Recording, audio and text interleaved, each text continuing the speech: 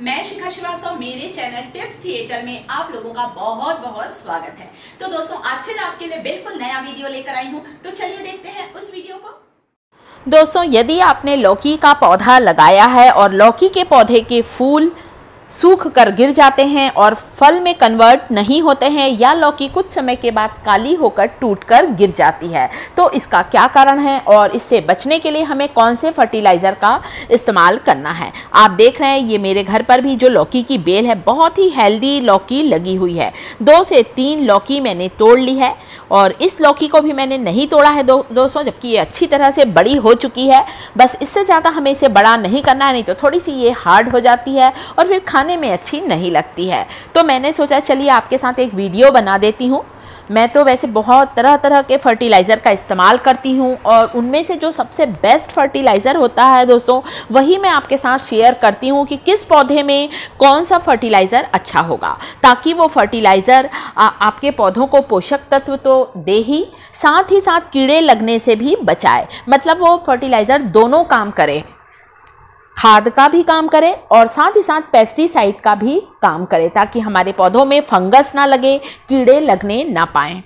और आज जो मैं आपके साथ जो फर्टिलाइज़र लेकर आई हूँ दोस्तों, जो आपको बताना चाह रही हूँ मैं, वो फर्टिलाइज़र पूरा 100 परसेंट ऑर्गेनिक फर्टिलाइज़र है।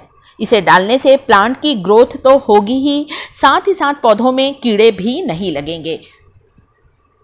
तो वो जैविक खाद जिसका हम इस्तेमाल करने वाले हैं दोस्तों, वो है seaweed fertiliser seaweed fertiliser दो अलग अलग रूपों में आता है। लिक्विड फॉर्म में भी आपको मार्केट में मिलेगा और छोटे छोटे ग्रैन्यूल्स के रूप में भी आपको मार्केट में मिलेगा। छोटे छोटे से दाने होते हैं।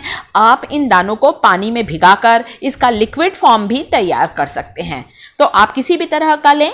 चाहे तो लिक्विड सीवीड फर्टिलाइज़र ले लें या फिर ग्रेन्यूल वाला भी ले लें। और जो सीवीड फर्टिलाइज़र होता है दोस्तों, समुद्र में नीचे जो वीड्स होते हैं, बस उन्हीं का एक्सट्रैक्ट निकाल कर इसे बनाया जाता है।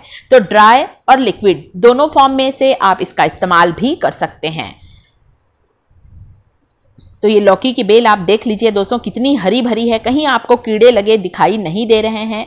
तो ये सब दोस्तों, खाद का ही असर है कि हम एक अच्छा खाद पौधों को देते हैं, अच्छे न्यूट्रिएंट्स पौधों को देते हैं तो हमारे पौधों की ग्रोथ बहुत अच्छी होती है। मैंने अपने टेरिस पर ही लौकी की बेल लगाई है, जो बहुत अच्छी तरह से बढ़ रही है। आप देख सकते हैं, इसकी अलग अलग ब्रांचेस पूरे टेरिस में लटक गई हैं और जगह जगह पर इसमें लौकी लगी हुई है। तो आपको अगर ये सी वीड्स फर्टिलाइज़र खरीदना है दोस्तों तो ऑनलाइन परचेज की लिंक आपको डिस्क्रिप्शन बॉक्स में मिल जाएगी। आप चाहें तो लिक्विड खरीदें या मेरे जैसे इस तरह से ग्रैन्यूल फॉर्म में जो आता है, आप वैसा भी खरीद सकते हैं। जैसे डीएपी होता है ना दोस्तों डीएपी के दानों के जैसे ही छोटे छोटे से इसमें दाने होते हैं, और इन दानों को आप यदि पानी में भिगा कर दो तीन घंटे भी रखेंगे तो ग्रेन्यूल्स पानी में डिजॉल्व हो जाते हैं, और आपका लिक्विड फर्टिलाइज़र तैयार हो सकता है। या आप चाहें तो एक तरीका और है, आप चाहें तो इन ग्रेन्यूल्स को ग्राइंडिंग जार में डालकर फाइन पाउडर बना लें और इस पाउडर को पानी में घोलकर भी पौधों में डाल सकते हैं। किसी भी तरीके से डालें, चाहे तो लिक्विड फॉर्म वाला खरीदें सॉलिड खरीदें, या फिर थोड़े से पानी में घोल कर आप इसे रख दें। सभी प्रकार के पौधों में डालना है। ये ना सोचें दोस्तों कि मैं ये फर्टिलाइज़र आपको सिर्फ़ लौकी के पौधे के लिए बता रही हूँ। किसी भी तरह के सब्जियों के पौधों में डालें, फूलों के पौधों में डालें तो सब्ज़ियाँ भी बहुत अच्छी आएँगी फ्रूट्स का साइज़ भी अच्छा रहेगा फ्लावरिंग भी ज़्यादा करेगा आपका पौधा। आपको ये पंद्रह दिन में एक बार डालना है गर्मी के मौसम में दोस्तों, आप इसे पंद्रह दिन, बीस दिन में एक बार डालें, ठंड के मौसम में हर दस दिन में आप इसे डालें। पौधों की मिट्टी में डालें, जड़ के पास डालें, या चाहें तो आप इसे स्प्रे की बॉटल में डालकर स्प्रे भी कर सकते हैं। तो स्प्रे यदि आप करेंगे ना दोस्तों तो तुरंत ही इस खाद का असर पत्तियों के द्वारा पौधों की जड़ों तक के पहुँच जाएगा और पौधों को उसका तुरंत ही असर दिखाई देगा।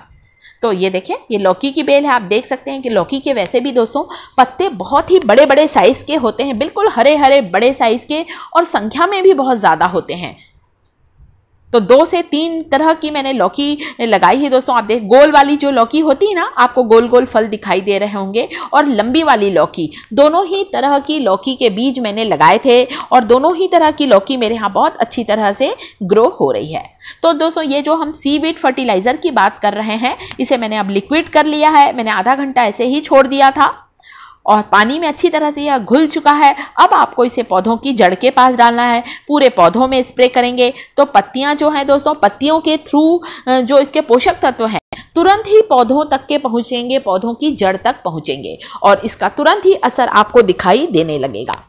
और सीवीड फर्टिलाइज़र यूज़ करने का सबसे बड़ा फ़ायदा जो अब मैं आपके साथ शेयर करने वाली हूँ दोस्तों, वो ये है कि सीवीड फर्टिलाइज़र की जो स्मेल होती है, वह पक्षियों को बिल्कुल अच्छी नहीं लगती है। तो इससे हमें ये फ़ायदा होता है कि जब हम कोई भी सीडलिंग करते हैं, कोई भी सीड्स मिट्टी में डालते हैं तो पक्षी को ये स्मेल अच्छी नहीं लगती है, इसलिए पक्षी कभी भी उस बीजों को नहीं खाते हैं और हमारे पौधे सुरक्षित रह जाते हैं। इसके साथ ही बहुत से लोगों को ये परेशानी होती है कि हमारे यहाँ गिलहरी है, गिलहरी दाने खा लेती है, पेड़ उखाड़ देती है या कई के घर में आसपास मंकी होते हैं तो उनके कारण भी पौधों को वो उखाड़ लेते हैं या परेशानी होती है। तो सी वीट की स्मेल इतनी स्ट्रांग होती है कि वो पक्षियों के साथ साथ एनिमल्स को भी अच्छी नहीं लगती है। डॉग कैट गिलहरी इसकी खुशबू को तो बिल्कुल पसंद नहीं करते और कभी भी इसे खाना पसंद नहीं करेंगे। तो ये फ़ायदा भी है। हमारे पौधों को तो फर्टिलाइज़र मिलेगा, साथ ही साथ पेस्टिसाइड भी मिलेगा सीवीड से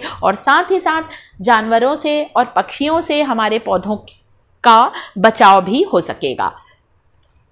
तो सबसे बड़ी समस्या ज़्यादातर यही रहती है दोस्तों कि गिलहरी आती है, गिलहरी दाना चुग लेती है, बीज खा लेती है, या फिर जो पक्षी होते हैं, चिड़िया कौआ इन लोग भी कई बार बीज को चुग लेते हैं। और हमें लगता है, अरे, हमारा पौधा तो उगा ही नहीं, हमने तो बीज डाले थे। तो पक्षियों से बीजों को बहुत बचाना पड़ता है। यदि आप चाहें तो सीविड फर्टिलाइज़र को